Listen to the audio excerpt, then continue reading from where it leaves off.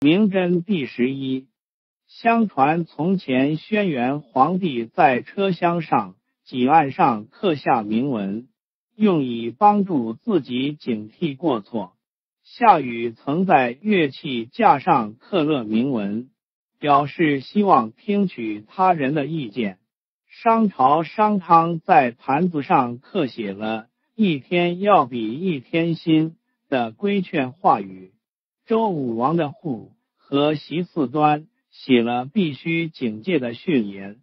周公把说话要谨慎的告诫刻在金人的背上。孔子看到了漆器，脸色大变。可见列位古先圣人重视戒语的作用，由来是很久远的。名就是名称的意思。观看器物，必须端正它的名称，正定它的名称，审明它的警戒作用，目的在于美好的德性。春秋时，鲁国的大夫臧武仲在论名的时候说：“天子作名是为了赞扬他们盛大的美德，诸侯作名是为了记述他们的功勋。”大夫作名是为了称颂自己的牢记。夏禹把九州贡献的铜柱造成金鼎，周武王在肃慎室上供的护剑刻字，这就是属于天子颂扬美德的事情。吕望把功勋铭刻在野将昆吾铸造的金板上，众山伏把他的大功。刻在缴获的器物上，这就是属于诸侯记述他们的功勋。晋国的将领魏科的功勋被记刻在晋景公的钟上，魏国的大夫孔鲤的勋记被铭表在魏鼎上，这就是属于大夫称颂自己牢记一类铭文。至于飞廉得到天赐的刻有铭文的石棺。卫灵公夺得坟地，得到阴间加封的谥号。他们的铭文从埋藏在深幽的地下发掘出来，哎，可真奇怪啊！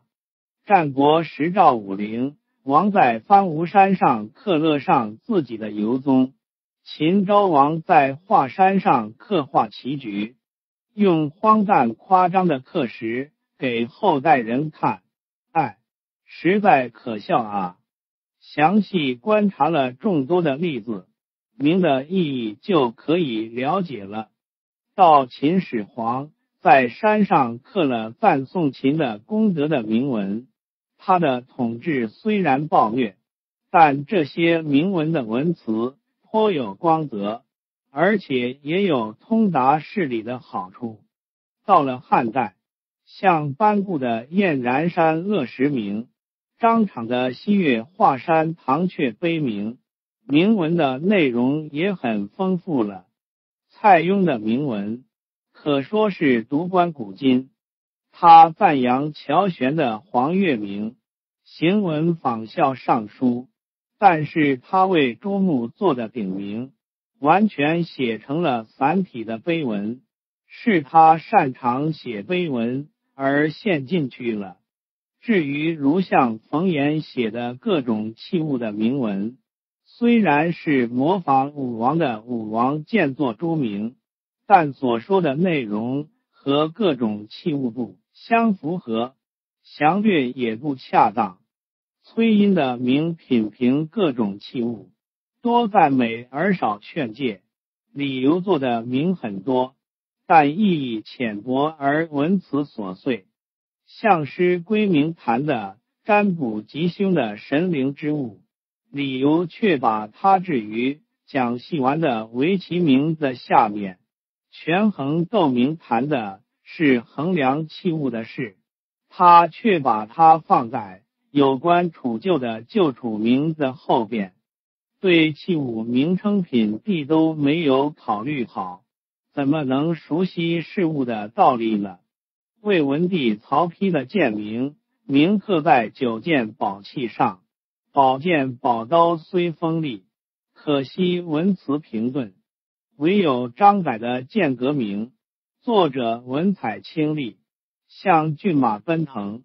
后来居上，晋武帝司马炎诏令把他的铭文刻在岷山、汉水之间的剑阁山上，可以说是得当的。真就是真的意思，用它来针砭过失，防止后患；用治防疾病的时针来做比喻。这种文体的兴起，盛行于夏、商、周三代。夏、商两代的真文还保存着少数残句。周的大史新讲，他的百官真散失了，只存有愚人之真一篇。文体格式和针砭意义已经完备了。到了春秋时代，这种文体衰微下去。但仍没有断绝，所以魏将还用愚人之真里的后羿失国的事来讽劝晋军；楚庄王还用民生在秦的话来教训民众。战国以来，各国都抛弃先王的德政，力求有功，明文取代真文而兴起，真文便枯萎断绝了。直到西汉末年的杨雄稽考古代文章，才开始模仿愚人之真，做了《清隐》《周穆》等二十五篇真文。到东汉的崔嗣、崔苑和胡广又加以补充，连同杨雄的真文一起，总称作百官真。这些真文根据各种官位。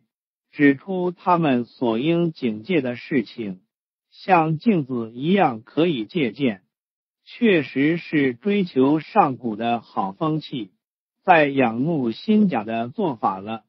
至于东汉末年潘旭的符节真，扼要而失之于肤浅；东晋温峤的世臣真，广博而失之于繁琐；西晋王继的国子真，文多事少。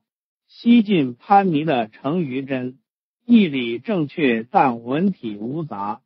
所有这些继续的创作，少有能够写得恰到好处的。至于东汉末王朗的杂真，把头巾、鞋子也写进去，虽然能得到他的警戒，谨慎起来，但是写的方法却不恰当。虽然杂真文辞简约，意义扼要，效仿了周武王的铭文，但其内容里谈到水火井灶一类的真文，文辞繁杂，把写真文的目的意义搞偏了。真是官用来诵读讽谏君主的，名是题刻在器物上的，他们的名称虽然不同。但引起警戒这点上是一样的，真完全是用来制止过失的，故文辞依靠准确切实，民间有褒扬和赞颂的作用，故文体以宏大温润为贵。无论写作名和真，引用事例一定要核实而辨明，作文一定要简练而深刻。这是大的方面的要求，然而因为说直话的风气已经丧失，在器物上刻写铭文记功的制度又久已沦亡，因此真名这两种文体很少用到了，也就很少施行于后代了。虽然如此，掌握文辞的作者也应当斟酌吸取他们深远。宏大的特点总结，明是表刻于器物上的赞词警言，真只是道德的标准规范。